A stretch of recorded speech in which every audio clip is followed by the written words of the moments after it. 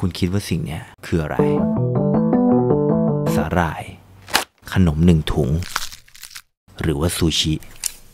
แต่ผมคิดว่ามันคือ มาร์กหน้า น้ำหอม สนีกเกอร์ น้ำอัดลมเอ๊ะอันนี้ไม่แน่ใจ เครื่องประดับ ส่วนในน้ำ แฟชั่น ว่าโคมไฟ คุณยังคิดว่าสิ่งเนี้ยคือสาหร่ายอยู่หรือเปล่า